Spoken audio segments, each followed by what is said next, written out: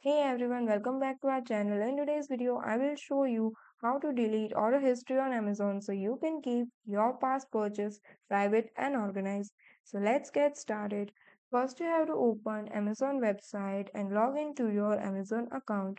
Now, on the top right side, you will see returns and order option. By click on this, you will see your order list here. Usually, Amazon does not provide delete history option, but you can archive your orders. On the top left side, you will see the number of order placed in, and beside this, there is a drop-down option, and the last option is archive order. First, you have to select your order and then click on archive order. By click on archive order, done, Your order is now hidden from your main order list. Remember, archiving does not cancel or delete the order, it just hide it from your regular order list. And that's it how you will archive or delete Amazon order history easily.